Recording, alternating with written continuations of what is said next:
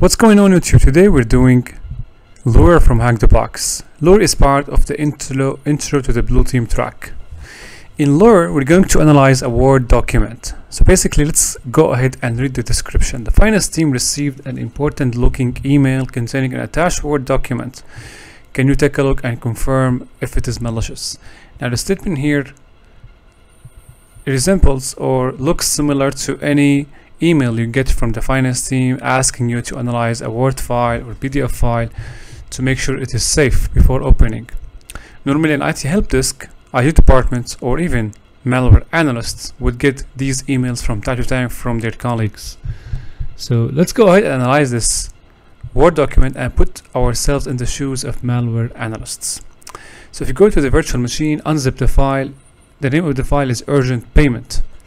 Now we have two options to analyze this file if we are going to follow a systematic methodology in analyzing malwares. The first thing we can do static analysis or we can do dynamic analysis. So if we're going to do static analysis, we're going to need a tool that supports analyzing Word documents. So for that purpose, we're using olevba. Oli VPA is a tool written in Python to analyze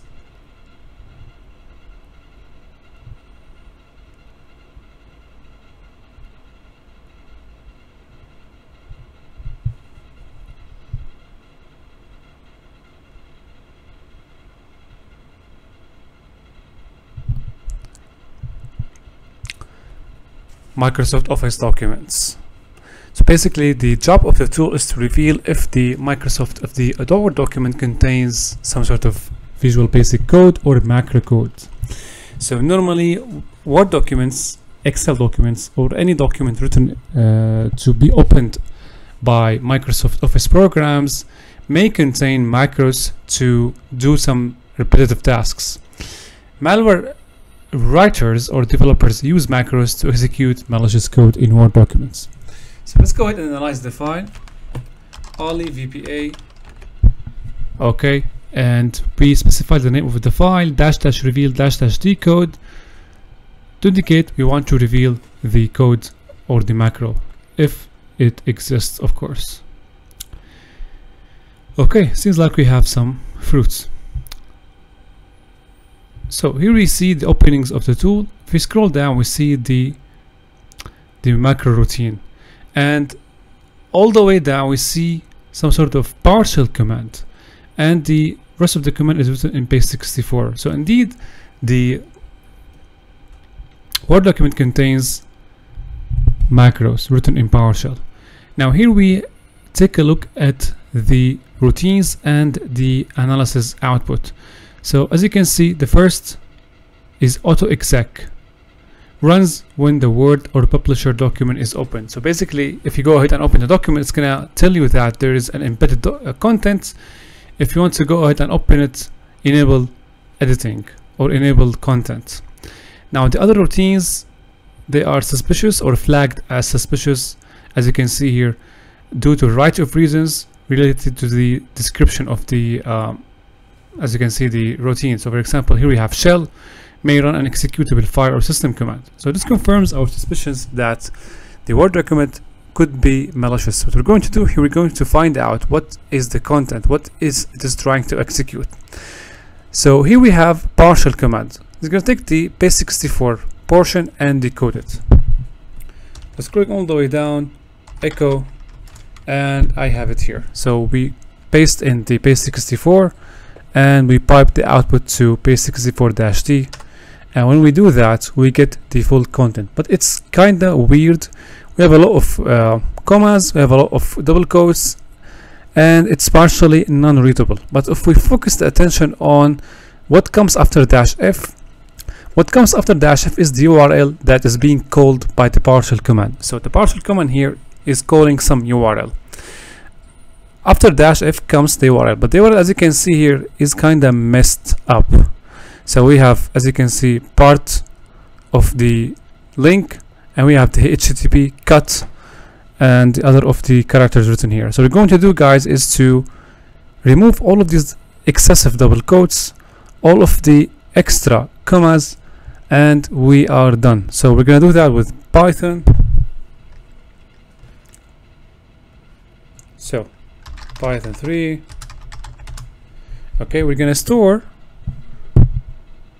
everything after dash f in a variable. Let's call it um, command or what else? Anything else. Before doing that let's go ahead and open cyberchef and correlate the output between the cyberchef and the base64 command. So in cyberchef I did the same pasted the base64 content and I have it decoded. Now what I'm going to do I'm gonna copy the what comes after dash f. So starting at the dot. I'm gonna copy that and we're going to go back and create a variable say it is PowerShell equal one single quote one double quote and we paste in the content and we close that with single quote and double quote.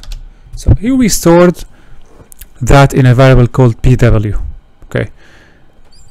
What we're going to do here is to replace as I said earlier all the excessive dots and double quotes we're gonna re remove them. We're going to use replace. So pw equal pw dot replace so in here we're going to replace the dot with nothing meaning we are removing it. Pw equal pw to replace. And we're going to remove the excessive double quotes. Let's go ahead and print pw now to see what it became. Okay so we have some stuff uh, that has been cleaned up as you can see. We remove the excessive double quotes and we remove the excessive dots. So now what we need to do here guys is to reconstruct the URL it's gonna be a bit tedious right? But we have to do that to reveal the flag. So what we're going to do here is to reconstruct the URL beginning with HeyHT as you can see here. So HeyHT and then we have one we need one additional T happens to be here. And then we need the P. Okay? And then you have this. And as you can see hey ht it is missing the B as B as the hack the box flag starts with hey HT and then you have B from here. So what we're going to do here guys is to rejoin all of these elements. So these elements can be accessed this way. So we start with pw5 pw25 and you keep adding all of them together until you reach the final URL okay once one thing left is before we go ahead and join all of these elements together and reconstruct the URL we're going to split all of them with by comma. So basically we're going to create a new variable called pwv2 or it could be the same pw equal pw dot split split them with a comma or by comma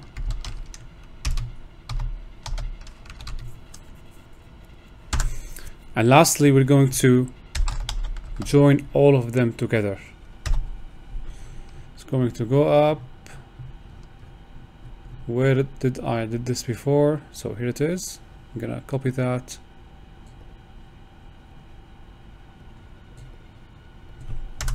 And lastly print pwv2 and this is the full complete URL so we're going to take this and decode it or all of it. So go back to cyberchef bake a new recipe. So here it is. This is the flag. I'm going to copy that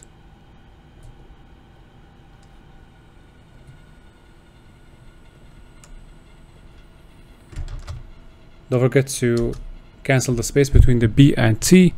And the challenge can be medium in rating submit. So we have a problem. Let's go back and inspect the flag. So we have these.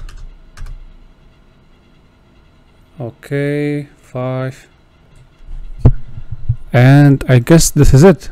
So that's it guys. Thank you for watching